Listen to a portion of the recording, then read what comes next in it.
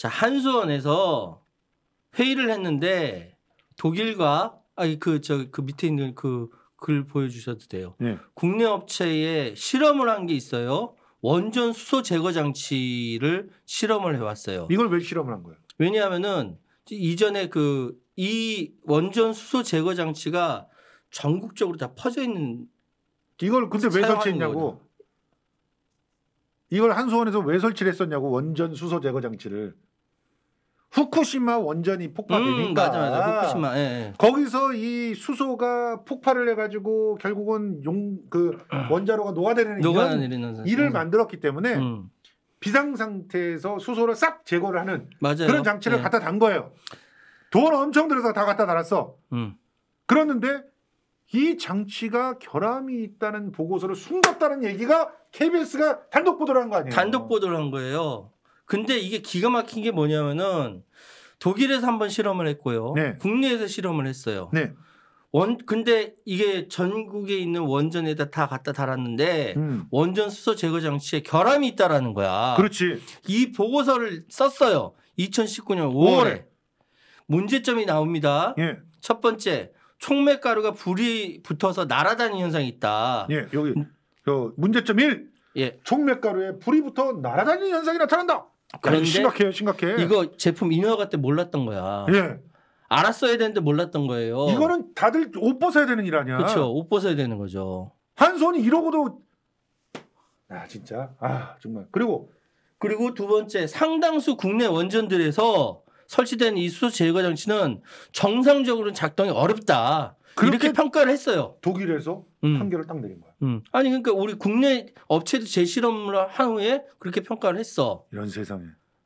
세 번째 이 헛돈을 쓴 거고 이 제거 장치를 들여온 놈들이 사기 친 거지. 사기를. 친 쳤거나 네, 아니면 아니면 어쨌든 사기 뭐를 당한 거 아니야. 뒷돈을 받아가지고 네. 뭐 이상한 걸 집어넣거나. 그렇죠, 그렇죠. 솔직히 말해서 그때 주변 당시에 어떤 일들이 많이 있었냐면 기억하실 거예요. 이게 후쿠시마가 2011년에 2011년 터졌죠.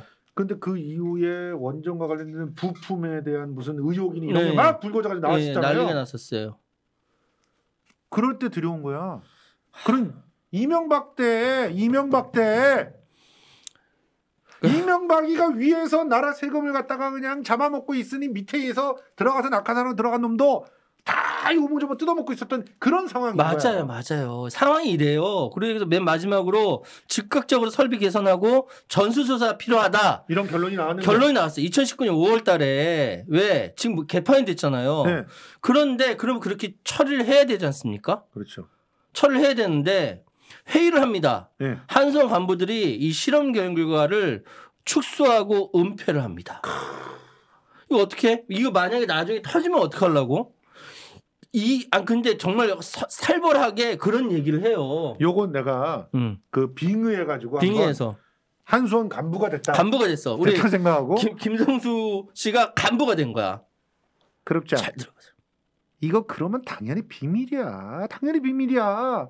아 지금 뭐 이게 수소 폭발로 갈 것인지 아니면 점화해 가지고서 화재로 인한 사고로 갈 것인지 잘 모르겠는데 발전소가 지금 날아가고 경락 건물이 날아가는 상황이 벌어진다고 하면 그 당시에 장치가 불꽃이 있었든지 없었든지 그게 핵심 이슈냐 이거지. 응? 그 다만 그게 얼마나 심각한지에 대해 가지고 남을 위협하고 그렇게까지는 하지 않을 수 있도록 잘 마무리 짓는데 실무자들이 쓴 것을 그룹장이 나중에 잘 좀 이렇게 어? 이렇게 해달라는 얘기야. 그게 굉장히 중요해. 어? R을 어로 써가지고 지금 자리가 날아가는 사람이 한둘이 아니잖아. 우리 회사에서도 지금 그런 이런 얘기. 와, 박수. 와, 비, 빙의해서 이거 진짜 실감 나죠? 뭐라고 얘기합니까? 간부가 수소 폭발 얘기 나오죠? 이 수소 폭발이 사실상 소규모 수소 폭발이 히로시마에서 아, 저, 저 후쿠시마에서 후쿠시마에서 있었던 거예요. 있었던 거. 어. 경, 잡아요. 경, 발전소가 날아가고 경락고가 날아가고 그게 얼마큼 폭- 이거 말이 이렇게 날아간다고 표현했지 한 지역에 쑥대밭이 되는 거예요. 그런데 뭐라고 얘기하냐면은 이거 그러니까 얼, 지금 그 아까 불꽃이 이렇게 네. 막그 생기고 이런 것들이 심각한 문제다 이렇게 얘기를 했더니 그거를 덮으라고 하면서 덮으라고 하는 거야. 야 나중에 경납고가 날아가면은 그때 그 작은 불꽃이 뭐 붙었던 게 보고서가 있었는지 없었는지 그게 중요한 게 아닌 그게 상황이 중요한 게 된다. 아니야. 그거는 아무 중요하지 않으니까 이게 무슨 얘기니? 이런 이건 소름이 돋는 얘기야. 덮으라는 거야, 덮으라는 거. 아니 그러니까 덮으라는 게 중요한 게 아니라 제가 생각할 때는 음. 이거는 무책임의 극치. 아, 당연하지.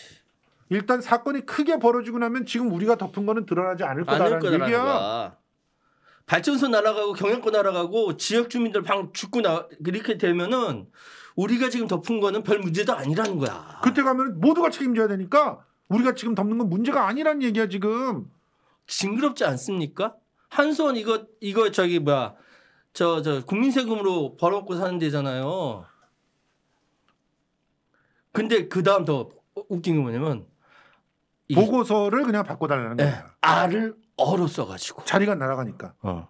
한국말은 아다르고 어다르니까 알을 어로 써서 어? 그 정직하게 얘기하면 자리 날아간다는 얘기지. 지금 이런 이런 상황을 밝혀냈는데 KBS의 보도를 받아준 데가 없어. 없어. KBS조차도. 이 심각한 거 아닙니까? 조중농은 물론이고 한겨레 경향에서도 이걸 안 받아. 왜 그러죠? 모르겠어. 난 모르겠어. 어 징그러워 진짜. 아, 그, 아. 지금 KBS에서 이틀 동안 특집했어요. 이 관련된 꼭지가 한 8개인가 그래요. 음, 음, 음. 요것도 필요하면 저희가 한번 집중적으로 다뤄보려고 하거든요. 방금 우리 김선수 평론가가 빙의에서 이- 읽었던 읽었던 거 있죠. 그것만 잘라가서 돌아다녔으면 좋겠다. 진짜 그 진짜 리얼한 이야기거든. 근데 해당 간부는 뭐라고 얘기냐면 회의 기억 나지 않는다. 은폐 지시할 수 없는 입장이니까 지시한 적도 없다라는 게 말이 되냐? 나중에 발뺌하고 있는 거죠. 제2의 세월호는 물론 이거는 후- 후쿠시마가 우리 현실이 될 뻔했어. 예. 난리 날 뻔했어 난리. 안전을 위해서 미리 예방을 하기 위해서 만들어 놓은 수소 제거 장치는 깡통이었던 거고 심지어는 오히려 더 큰 위험을 사고가 날 뻔했지. 갖고 있는 그런 장치였다. 음. 이런 상황을 2019년 5월에 만 내놓고도 이걸 은폐하고 있어요. 지금 2021년인데. 어? 답답하시죠. 이게 현실이 이게 지금 원전 마피아의 수준이에요. 지금 이것들이 완전히 어, 정부 돈을 갖다가 완전히 그냥 어? 눈먼 돈이라고 생각하고 어? 지들이 그걸 갖다 뽑아 먹기에 혈안이 돼 있어갖고 자